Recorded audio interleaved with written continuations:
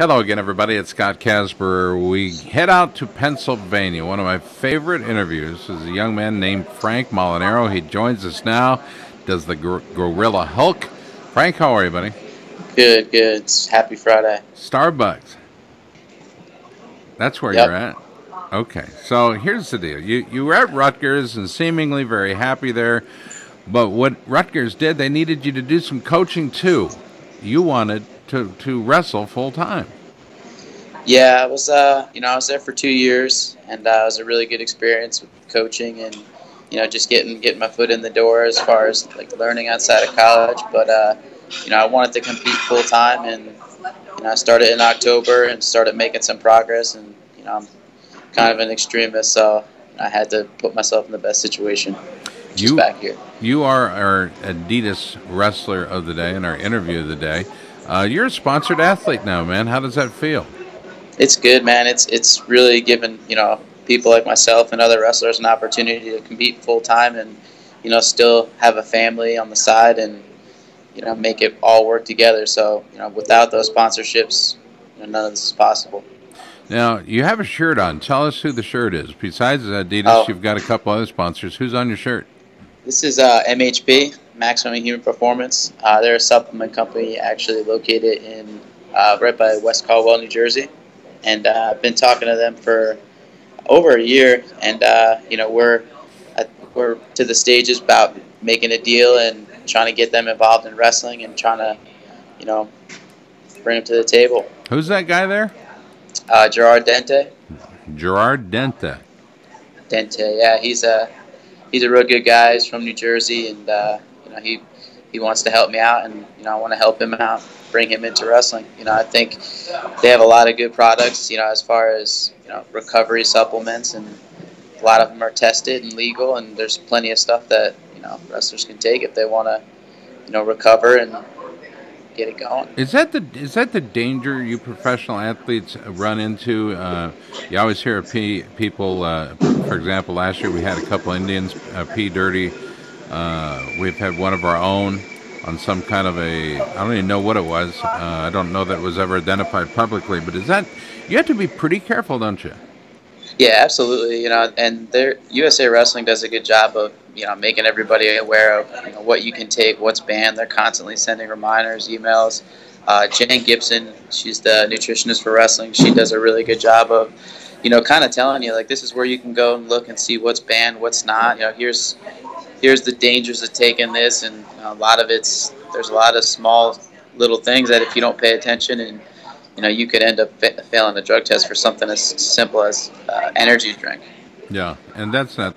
I mean, obviously, we got to do our homework. We got to be smart about this. This is the business we're in. This is what we do. Yeah, We're talking with the uh, the Gorilla Hulk, Frank Molinaro, who's an NCAA champ for Penn State, a four-time NCAA All-American, two-time Big Ten champion. Um, most recently, let's talk about him. The World Team Trials didn't do the best there at 70 kilos.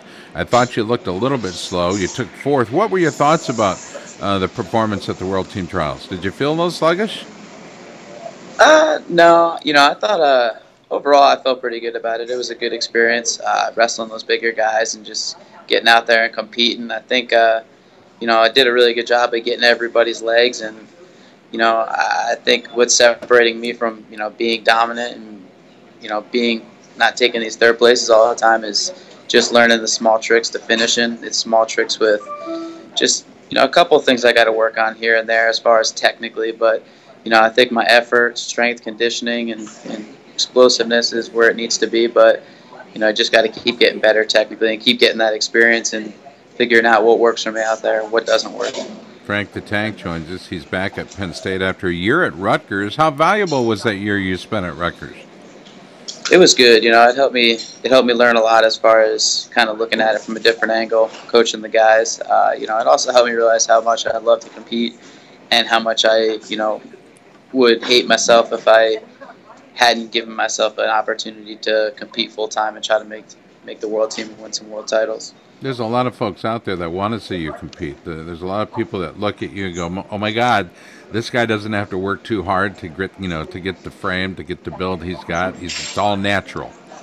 Uh, Yeah. Frank. They don't know how hard Frank runs. He. They don't know what kind of cardio program he he or how much he's got to cut. You know, managing your weight is a big deal every day, not just on the way to a weight. You've got to really be smart about what you put in your body. Yeah, I mean, just the weight cut this year at 65 was it was it was a pretty heavy weight cut for me. You know, I was pretty big, pretty dense. I had a lot, I had a lot of muscle before I started cutting the weight, and you know, it's really been pretty rigorous, kind of shrinking my body down. You know, got you know my buddy Jarrett uh, Blatt. He's been helping me out as far as dieting. He's giving me some good pointers. You know, my wife helps me cook, grocery shop, all that kind of stuff. So I always have somebody helping me out, which is good. But uh, you know, it's just a lot of work, but it's what I love to do. You know, I love to wake up. I love to train every day. I love the grind, the cut and weight, and all that kind of stuff. So, know, I'm just grateful that this is what I get to do every day, full time. Now, a lot of people may not understand this. Eating healthy is actually more expensive than eating uh, junk. yes, huh? am I wrong? it definitely is. Fresh fruits and vegetables. Is. Take me, take me down the uh, grocery aisle when you go shopping. What are you buying, and why are you buying it? Uh, well, I buy a lot of fruits and vegetables. You know, I make a lot of fruit and vegetable smoothies in the morning. I eat a lot of fruit and vegetables. Um, a lot of protein, salmon. Uh, we do a salmon night.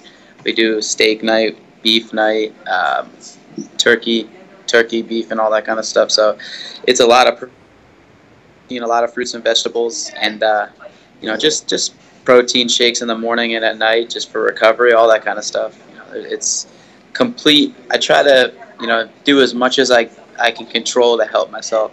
So, so whether it's grocery shopping, cooking. Is it fat? Is it primarily fat and salt free? Yeah, it's low low fat, low salt. Yeah, I don't try. You know, I don't like to have too much salt. I like to, you know, not when I'm cutting, I take the salt down, but when I'm not cutting, I don't really pay too much attention to it because I'm drinking so much water and working out so much. Right, and, and drinking water, that's that's another big deal. Blue 04 Water is one of the sponsors of this interview, by the way. Rehydrate the right way, put those electrolytes back in your body, oxygenate the blood that goes through your body, and you can be strong just like Frank the Tank Molinaro. Um, most recently, you were at the Pan Am's, and you wrestled there at 65 kilos, five kilo differential than than when you were at the World Team Trials, where you took fourth. You took third overall uh, in in your weight class, and and that allows you to stand third overall in the standings for Team USA. Uh, is that where you need to be right now? Would you like to be second or even first at 65? Where do you see it? Uh, you know, I, I see myself as number one. You know, and I missed that opportunity this year at the World Team Trials, but you know, I put a ton of work in as far as this was my first year ever competing freestyle. And uh, you know, I wrestled in every tournament I could. I went to every training camp I could on top of coaching. And you know, now there's no more you know, noob exception rule or anything like that. So, you know, if I'm not number one next year, then then I failed and I didn't put enough hard work in. When you say you didn't put enough hard work in, do you bang yourself up on that deal? Do you, do, does that kind of stuff bother you? Uh, it doesn't bother me. You know, it motivates me. It keeps me going. You know, if I'm not you know, even if I was number one, I would, you know, still find something that would motivate me and something to push me harder. But, you know, being number three, I, I do feel like I have a chip on my shoulder still, and I've always felt like I've had a chip on my shoulder my whole career. So, you know, th- there's no better motivation than that that feeling. See, I don't get that. A chip on your shoulder your whole career. All I've seen really is a young man that just really wants to get out there and get after it and win. Um, it's there is a purity to your wrestling that is hard to find in a lot of guys. There, you, the Thanks. love of the sport and the intensity with which you wrestle compound that, if you will, with uh, the complexion of the game. In other words, how complex is your game? Your your detail to to to uh, uh, technique is phenomenal. Thank you. Where does that come from? Is it just internal? Is it coaching? Is it? Are you just a good listener? Uh, you know, I, I, would like to believe that I'm pretty coachable. I think now, you know, coaching for two years, I think that's helped me kind of be a better athlete as far as being able to be coached a little bit better because you kind of see see it from the other side. But you know, I think I've been so fortunate from, you know, when I was in clubs when I was a kid to my high school coaches, you know, John Stout, and you know, my college coaches. That their results speak for themselves, and uh, you know, I'm been around great people, and I'm you know competing around great people now, and competing with great people. So, you know, I've always been fortunate enough to have a pretty good influence. And, you know, at the end of the day, I, I'll compete in everything I do, you know, whether it's golf this afternoon or wrestling practice or, you know, 500 rummy with my wife at home. I just love to compete and I love to win. So, you know, that's that's big motivation for me is winning. Your wife told me she can beat you at rummy anytime she wants. uh, my wife's pretty. My wife's pretty competitive too. She was a Division One gymnast, so uh, she doesn't. She doesn't how, let me how win tall anything. is she?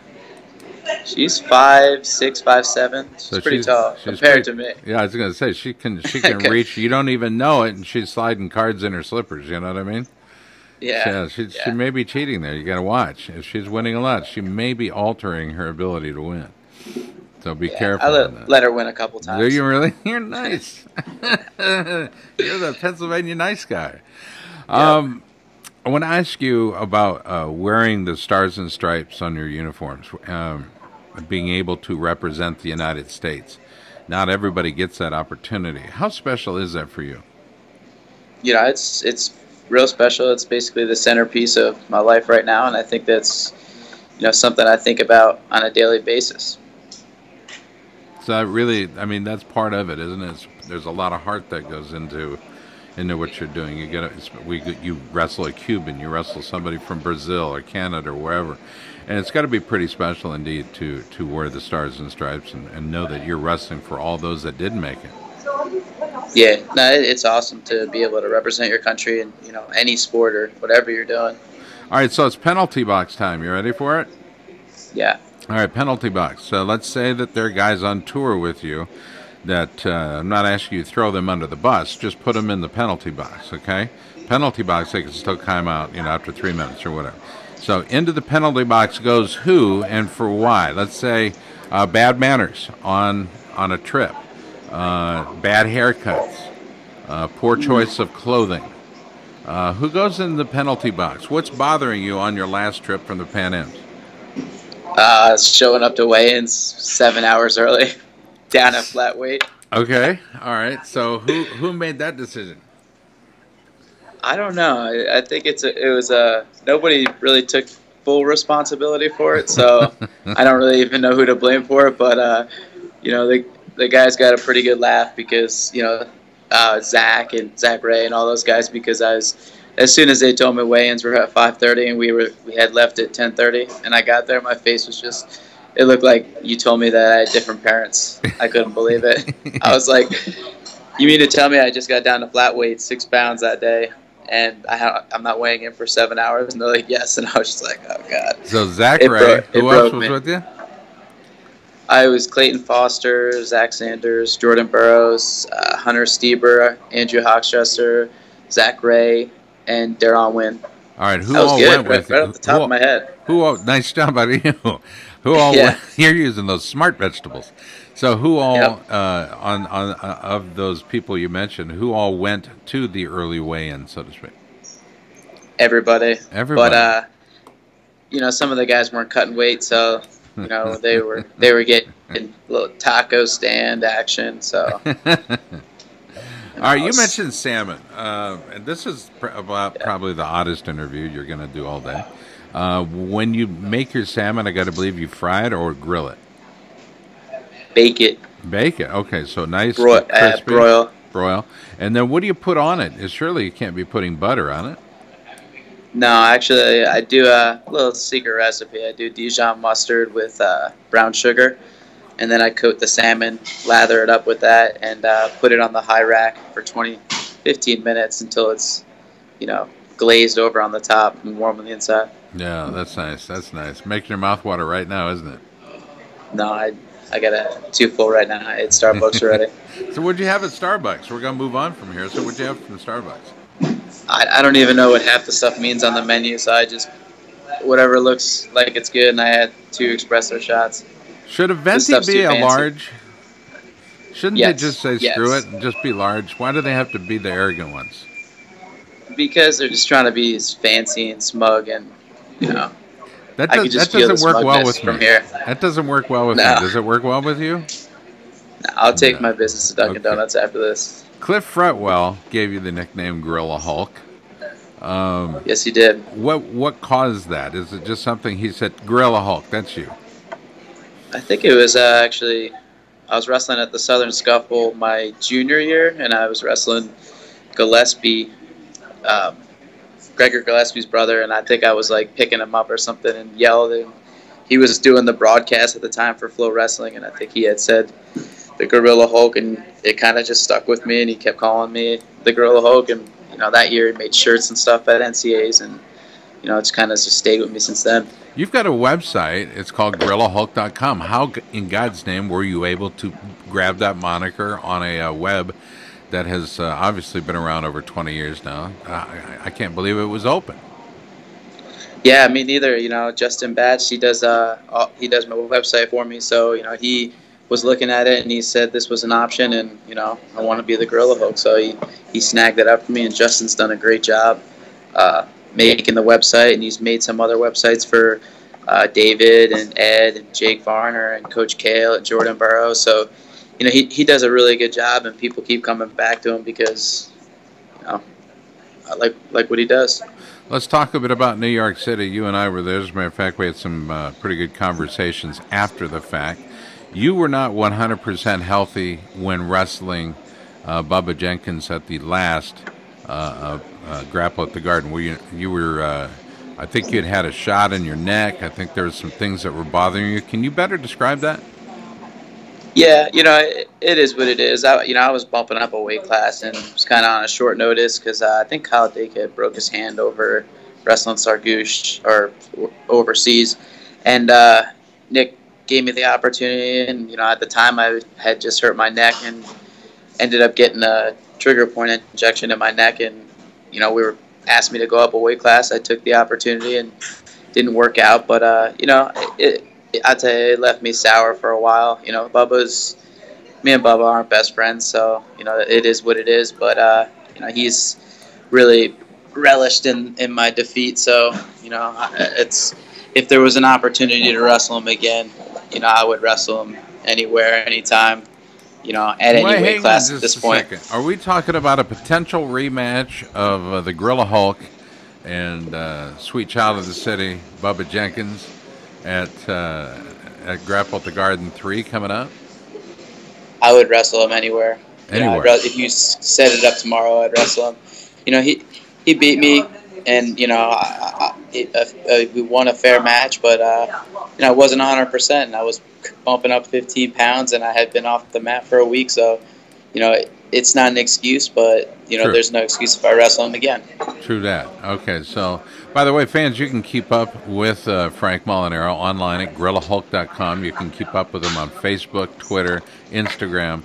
Uh, all that. You can make donations to his career. Yeah, he's a hardworking athlete. He's doing what he's doing. He's married. Uh, he's an awesome guy. Uh, been around uh, uh, State College for a long while now. I think I remember doing an interview with you on a bus. Does that ring a bell? Yeah, my yeah. freshman year probably. Probably. When I was living in the dorms. wow, it's a long time ago. Yeah, but you know what? It's one of my favorite ones because even then, you were real. There's no no ulterior motives, no great expectations. You just wanted to get out there and wrestle. You know, yeah. I, I go back to your 2012 year, that season, man, 33 and 0. It's a good year. Yeah, but it just shows me the kind of heart you've got in the face of incredible competition. So, what's up next for you in, in terms of preparing yourself for a run? Because what, uh, you may not be the number one guy at the world team tri- uh, at the world t- uh, championships, but Rio is still very real, and it's coming up quicker than you and I think. Rio de Janeiro, 2016. Yeah, you know, I think Rio is the is the big picture, but 2015 World Championships in Las Vegas, and you know, I don't want I don't want to have to wait next year and say, well, I got next year for Rio, or I got. No, I think my urgency is extremely high right now. You know, my wife, you know, left her job as an assistant coach at Rutgers, and you know, she's changed her life to to help support me, and so have a lot of other people. So you know, my urgency is extremely high, and you know, I want to make the world team next year, but I want to win a world championship. I don't want to just make the team. Know, that's not that's not how I'm training right now. So you want to make it, and you want to do it the right way. You, no questions asked. You are that guy. Yep. Okay. Yep. And uh, Does that pump you up when I when I introduce you? Like, uh, for example, you were an MMA fighter. Is that kind of a build that you kind of get it, you know, just a little bit bigger? Hulk up. Yeah, I mean, it, you know, people people ask me like, you know, what do you do for a job? And I tell them I wrestle, and they just kind of look at me like I'm crazy. You do what? well, what do you do for real? It's like wrestle. what do you want to tell the the sponsors, uh, your fans, the people that have been you know they say nice things about you uh, uh, on the internet and chat rooms whatnot what do you want to tell those folks you know i really don't think i could thank those people enough because i was telling you before you know they're the people that have given me this opportunity um, you know adidas i've been with flips since you know day one me and don Burchetta have a good relationship he's a good friend of mine um, you know, Cliff Fretwell, he's, he's made all my singlets. He's been helping me since way back when when I was in college. You know, with with everything he could, and uh, you know, wrestling my shoes. Um, super, super good organization uh, with Joe Butler and his son Joey. Yeah. You know, they've they've stepped up to the table and helped me, and you know, now I'm, I'm hoping to you know close this deal with uh, Maximum Human Performance. You know, I like I like their company, I like the people. You know, I like that they're from New Jersey, and you know, it's extremely, extremely grateful to even have any of these opportunities, and and they make it so much easier to compete full time and have a family and support, you know, every aspect of my life, not just myself. And uh, you know, just like you said, I'm real grateful for him. You mentioned little Joe. He's a set, isn't he? Yeah, he's a really good kid. You know, he works extremely hard and he loves the sport and following all the guys. And you know, he'll have a bright future as a as a wrestler when he gets older. Frank, I'm looking forward to uh, next competition. Do you have any idea at this point where it's going to be? Uh, I'm not positive, but I know probably October is when I'll compete again. Um, I'll probably end up doing the NYAC again, and then I want to go to overseas trip to uh, Russia, hopefully in October. So, trying to pin down which one's the best for me and which coach, which one Coach Burnett thinks is the best, and you know, just keep getting better. How about the, the how about the coaching change from Jones to Burnett? What do you think of that? you know, I, I think it was a you know pretty cool move what Zeke Jones did going to Arizona State, and he's going to try to you know build a national championship caliber team, and I think he'll have a lot of success there. And you know, I was real happy when I heard Bruce got hired. You know, I knew I've known Bruce you know for quite some time. I considered going to uh, Annapolis after the season. It just wasn't really in place yet to where it is now, and. uh Bruce is a real good technician. You know, he studies the sport of wrestling more than anybody I know, and got to see that you know firsthand at the training camp in Arizona State, and uh, you know that's what I need to work on. I need to work on technique, technique, technique. So you know the the more I could be around Bruce and at these training camps and try to continue to you know learn the sport and the you know the current what's working right now and what's not working is going to take me a long way. I think. Of the three principal coaches at Penn State, who do you get the best technique advice from? And don't say Joe Bastardi because it's not even an option. Bastardi is not. He may. Joe Bastardi may be our Penn Nittany Lion insider, but when it comes to the three primary coaches, who gives you the best technical advice day in day out? You know, I, I look at it as not just technical, just kind of overall advice, and you know, I'd say Cody Sanderson. You know, he's I think Cody's one of the best coaches out there. You know, he works harder than anybody I know. I was a coach, so you know, I know how how much work goes into it, how much time goes into it, and Coach Cody is he's on top of everything. You know, my workout, my recovery. You know, is my attitude good? Is my weight good? Is my strength good? Is my rehab good? So you know, he really looks at the total picture for guys. He looks at you know every spectrum of what you have to do to be successful, and you know, he takes a lot of pride in what he does. So you know, he'll be on top of you about everything, and you know, he wants to he wants you to win just as bad as you want to win. You know, I, I think Cody's one of the best coaches out there, so I'd say him. Couldn't disagree with you more. No, I yep. couldn't agree with you more. He's an outstanding guy, and uh, we're all lucky to have him in the sport. Penn State, obviously, very lucky to have him, but uh, dude's on a mission, that's for sure. Frank, it's always good to talk to my man. I appreciate all the work you put into it. You seem uh, real healthy right now, real happy, in a good place, and that's where you Thanks. need to be to to rise to the top. And if anybody can do it, we know you can. So uh, there's a whole bunch of Gorilla uh, Hulk uh, fans back here in Iowa looking at you, and we're praying for you. Thank you. All right, so for all of us at Takedown, I'm Scott Casber. In State College is Frank Molinaro. Look for him online at GorillaHulk.com. This has been our Adidas In Focus Athlete of the Week, Frank Molinaro.